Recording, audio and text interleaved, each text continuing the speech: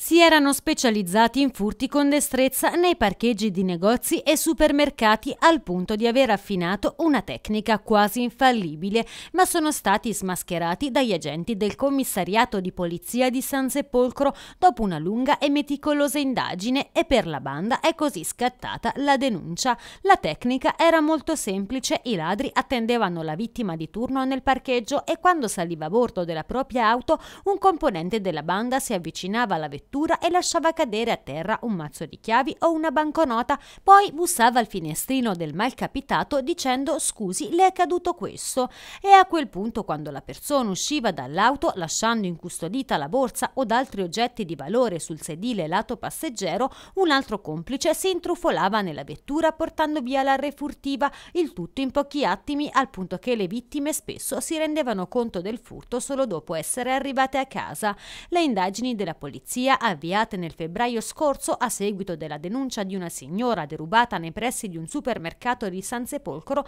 hanno permesso adesso di identificare e denunciare tre persone straniere residenti nel Lazio. Una volta individuata l'auto utilizzata dalla banda, anche grazie al sistema di videosorveglianza del comune, gli agenti infatti hanno ricostruito gli spostamenti del veicolo sul territorio nazionale, documentando la responsabilità delle stesse persone in altri furti messi a segno anche fuori dalla Toscana. Per il furto avvenuto a San Sepolcro, invece, i poliziotti avevano attivato anche un inseguimento a distanza della banda che aveva permesso di recuperare nel territorio della provincia di Forlì-Cesena parte della refurtiva, seguendo il segnale del cellulare che si trovava all'interno della borsa rubata alla signora di San Sepolcro e di cui i malviventi ancora non si erano sbarazzati.